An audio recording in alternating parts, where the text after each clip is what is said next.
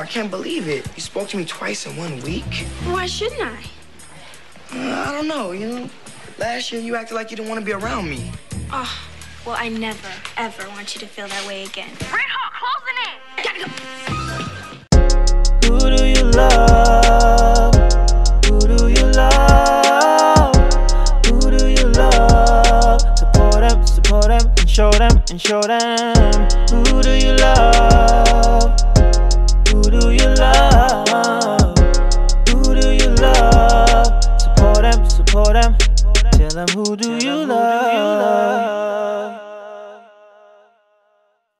forget to subscribe and hit the notification bell.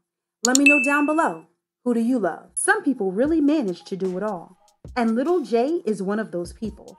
Actor, rapper, producer, known to the world as Devon Carter from That's So Raven, one of Disney Channel's most iconic shows. Little J was the boyfriend of every young girl's dreams. So, where's the handsome hunk today? And how has his career spanned out over the years? Let's find out. Jonathan Richard McDaniel was born on May 17, 1985, in Long Beach, California. From a very young age, Jonathan was fascinated with music. His family exposed him to stars like Michael Jackson and Tupac Shakur. By the age of seven, he was performing at his local Kmart, collecting money to produce his demo. Just a few years later, when he was just nine years old, he sought after the rapper LL Cool J, who he was a big fan of. When Jonathan spotted him at an autograph signing, he practically ran up to him, turned up his boombox, and started rapping like there was no tomorrow. Now, LL was blown away by the skills that this young boy had. In fact, the rapper was so impressed by Jonathan that he gave him free tickets to one of his concerts at the LA House of Blues. I ran up on LL Cool J at a autograph signing, mm-hmm. which is the same thing that he did in the movie Krush Groove. Yeah. A lot yeah. of people don't know. He ran up the boombox, blah blah, you know, and that's how he got noticed. The young rapper was given special treatment at the concert, where he was standing right in front of the stage. The rap legend immediately got all the music turned off and called Little J on the stage to rap alongside him. Little J also ended up giving his demo tapes to LL's people, hoping it would help him set foot into the music industry with a bang. Although nothing ever came from that encounter, he was still determined to show off his talent. McDaniel's talents was recognized by industry execs, and he was soon in Orlando working with Transcontinental Records, star makers of the Backstreet Boys, NSYNC, and O-Town, before being signed by Hollywood Records. In 2001, he dropped his debut single, It's the Weekend. The party track was produced by Jermaine Dupri.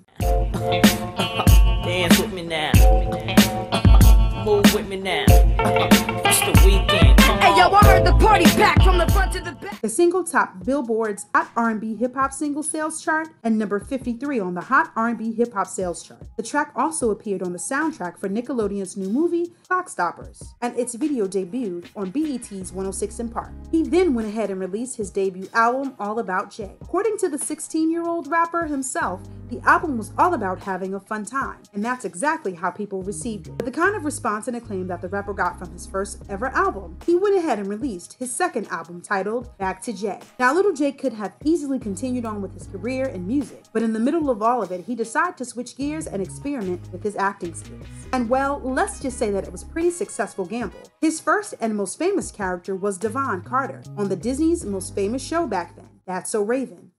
Hey, Ray. Oh, hey, Devon. Hey, hey Devon.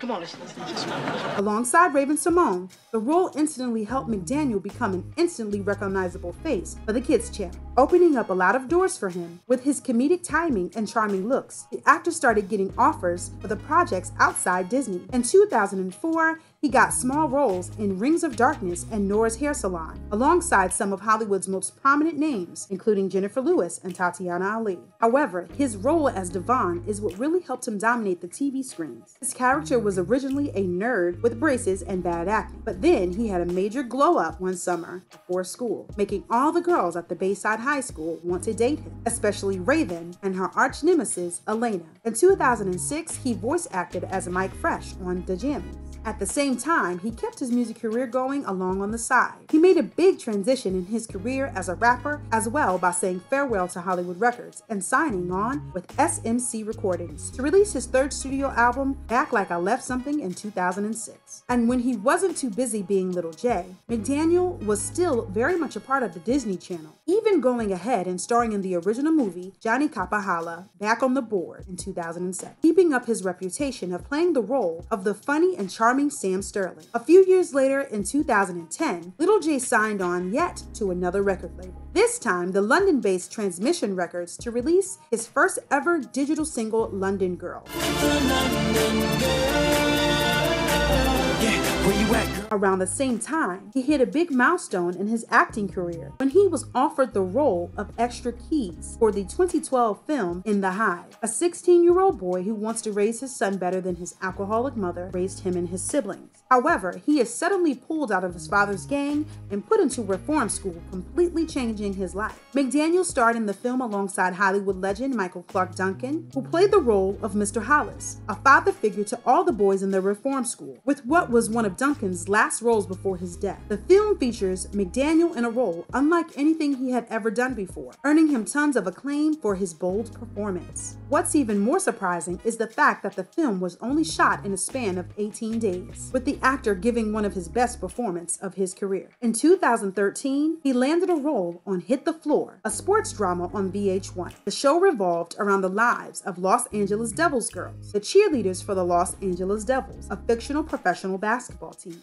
Jonathan played the role of German Vega, the assistant coach of the Devils, along with having a few interesting dynamics with some of the girls on the cheerleading squad as well. The actor was a permanent member of the cast until 2018, when the show officially came to an end, and he received tons of praise for his effortless performance, almost making us all believe that he really was a basketball player. According to the actor himself, playing German has given him the opportunity to carry a character with so many levels. While German starts off sweet and innocent, we realize that he may not be who we think he is, with the actor managing to maintain the suspense throughout each season. In 2017, it was officially announced that the show that got him started in his acting career, That's So Raven, was once again going to come back on the air with a reboot. The spin-off titled Raven's Home premiered in July and showed Raven as a single mother of twins Booker and Nia. And guess who their dad was? That's right, Devon Carter.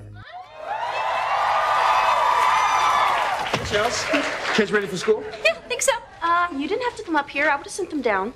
Now, can't I just stop by to say hello to my lovely ex-wife? McDaniel has a recurring role in the TV show. Fun fact originally, the producers planned to introduce a new character named David to be the father of Raven's twins, but altered their plans once Jonathan agreed to play the role. So it all worked out in the end, and the fans got what they wanted. Along with prominent roles like these, McDaniel has also made appearances in films such as Clockstoppers, Call Me King, and Alien Abduction, to just name a few. As far as the future goes, McDaniel is definitely going to be making appearances here and there on Raven's Home, and he has no plans to end his acting career anytime soon. On the other hand, his music is still going in full swing, with his most recent release being the single I Cry. Now that he has the time, he is really excited to get back back into music and commit himself to this particular direction because he wants people to know who he is as a musician. One thing that's certain Jonathan McDaniel is unpredictable. From rapping to acting and producing, there's really nothing that this man won't do. So the only thing left for us to do is wait and watch for his next move. Well, that's a wrap for the story of Little J. If you like this video, make sure to give it a big thumbs up and subscribe to our channel for more. See you next time with something new. Until then, let me know down below who do you love? Who do you love? Who do you love? Who do you love? Support them, support them, and show them, and show them.